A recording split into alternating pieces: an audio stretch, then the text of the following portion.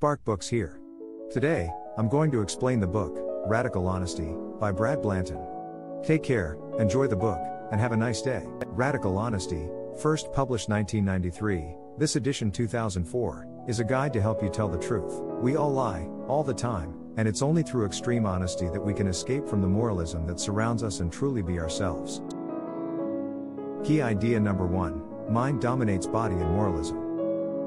First, the womb. The problem is applying fixed rules to a fluid, complex world. Lawyers do this when applying rigid law to real life cases. Field dependent. Imagine a rod inside a square frame. Like clock hands, rod and frame turn independently. Dark room, only rod and frame visible. Frame stops moving but rod continues. The rod is vertical when. Field dependent people say parallel to the frame. Field independent people know the frame isn't a reliable reference point and use their bodies to determine rod verticality. Field dependent moralists field dependence is false.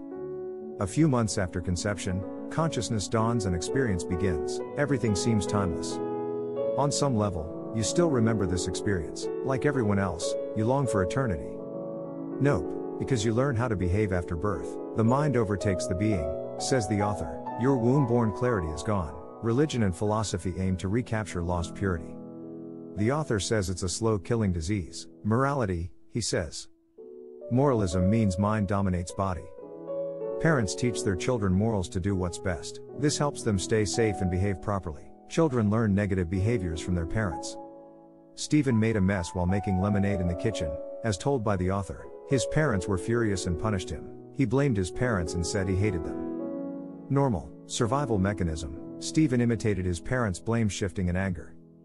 The problem is applying fixed rules to a fluid, complex world. Lawyers do this when applying rigid law to real life cases. Field dependent. Imagine a rod inside a square frame. Like clock hands, rod and frame turn independently. Dark room, only rod and frame visible. Frame stops moving but rod continues. The rod is vertical when. Field dependent people say parallel to the frame. Field independent people know the frame isn't a reliable reference point and use their bodies to determine rod verticality. Field dependent moralists field dependence is false. Key idea number 2 lying hurts us all.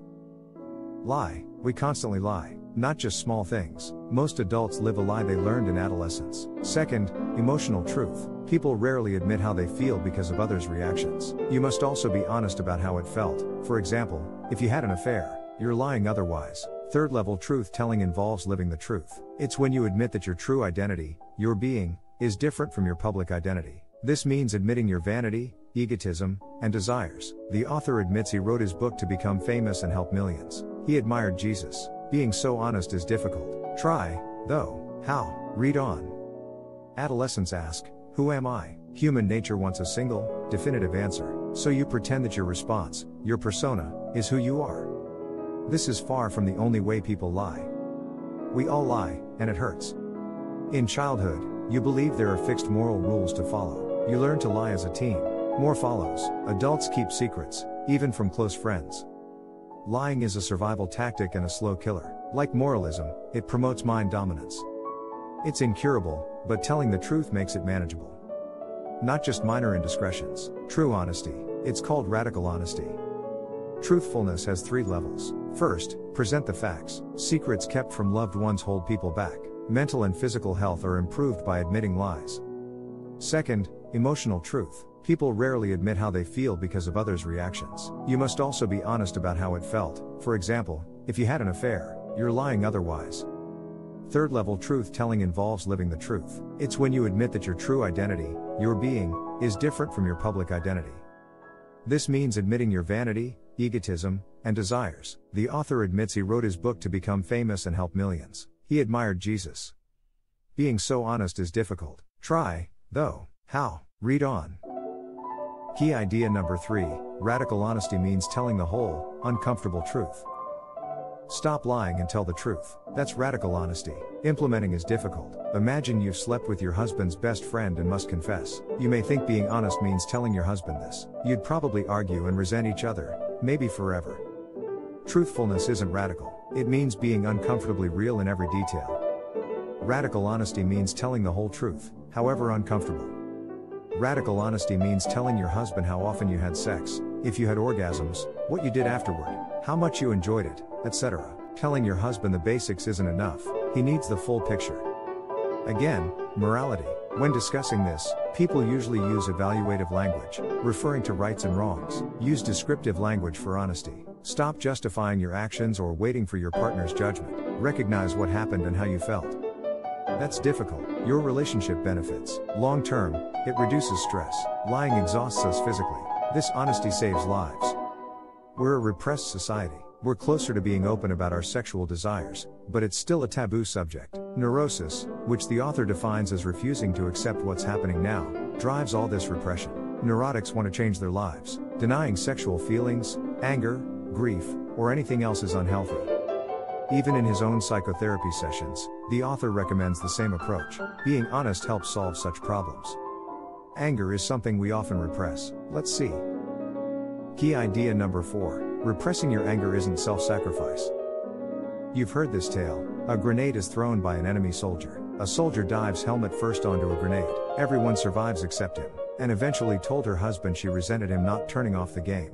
Just saying it made her realize her father did the same thing 30 years ago. She wouldn't have made that breakthrough without being angry. And's anger isn't always justified. Can you resent aging parents or noisy babies? True, they can't help it. You may still get angry, so let yourself feel. Don't believe moralism. Repressing anger harms relationships. No, be honest. Right? Sure, self sacrifice isn't always heroic. Like the soldier covering the grenade, you may cover your anger, absorbing its full force when it explodes. This seems noble, like you're sparing others. You're foolish, unlike the hero. You must release your anger for your own and others' sakes. Holding on to anger isn't self sacrifice, it's repression. Angry people resent their friends and family. You think hiding your true feelings is a favor, but it's not. Nobody likes being lied to or having their feelings hidden, so bottling up anger makes things worse. So vent. That means saying it as it is, without trying to make it reasonable or moral. A couple fought with the author during therapy, and said David was unresponsive. She mentioned coming home stressed and him not turning off the TV. David told her to wait until commercials. Both were looking to the author to decide who was right and who was wrong. So what? Her anger was key and eventually told her husband she resented him not turning off the game. Just saying it made her realize her father did the same thing 30 years ago. She wouldn't have made that breakthrough without being angry. And's anger isn't always justified. Can you resent aging parents or noisy babies? True, they can't help it. You may still get angry, so let yourself feel. Don't believe moralism. Repressing anger harms relationships. No, be honest. Key idea number 5 Telling the truth is vital for any relationship. Four failed marriages don't make the author look like he knows what makes a successful relationship. People joke. Being in love is beautiful and magical, but it requires sacrificing your own identity. You're not doing it right if you don't involve your whole self. He says it does. Each of his marriages and divorces have been successful, and he remains on good terms with former partners for co parenting. He argues that divorces aren't the real tragedy. Most non splitting couples have bad relationships. Truthfulness is vital for any relationship. We've seen examples of relationship communication. What's behind such communication?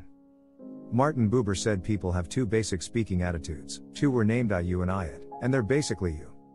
Even though you'll always use I, that word has two meanings. I, you acknowledges that your partner is an individual with complex feelings. I, it implies you're referring to an object, not a conscious being. The author suggests using clear, declarative statements like I resent you for these encourage partners to be seen as beings, not things. I communication usually leads to fighting.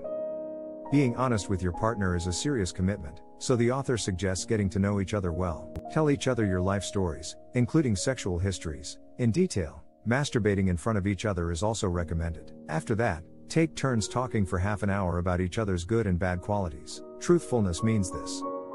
Being in love is beautiful and magical, but it requires sacrificing your own identity. You're not doing it right if you don't involve your whole self. Key idea number 6 Take responsibility to abandon moralism and live an honest life. Our lives are fast paced and stimulating. Our bodies aren't designed to be this busy all the time, so it's no wonder we're stressed. Moralizing makes things worse. Stop moralizing about right and wrong. Describe your emotions. True, it'll take you far. How can you free your mind from stress and return to your true self? Problem solving means telling the truth. Psychologists can help, but not always. Taking responsibility and implementing plans are key. Take responsibility to escape moralism and live an honest life. Your mental and physical selves are interconnected. So the author prescribes bodywork. Yoga helps people tune into their feelings. The patient must also exercise and eat well. It's important to take personal responsibility. Tom Joad meets a bitter, depressed mechanic with one eye in John Steinbeck's The Grapes of Wrath. Tom reminds him that the mechanic hasn't even cleaned up or covered his missing eye. It's simple when you haven't done enough for yourself, it's easy to blame the world. The mechanic's attitude reveals internal conflicts.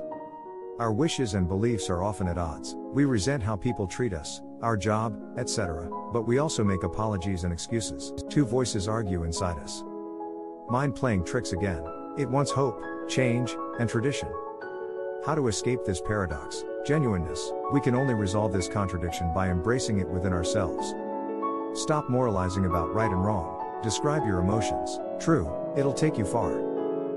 Growing up means lying to ourselves and others because we all become moralists. This harms our inner selves. Unflinchingly tell the truth, even if it's ridiculous or unreasonable. Then we're truly ourselves. To view more content like this, subscribe. Don't forget to like and turn on notifications. The channel really benefits from it. I appreciate you being here.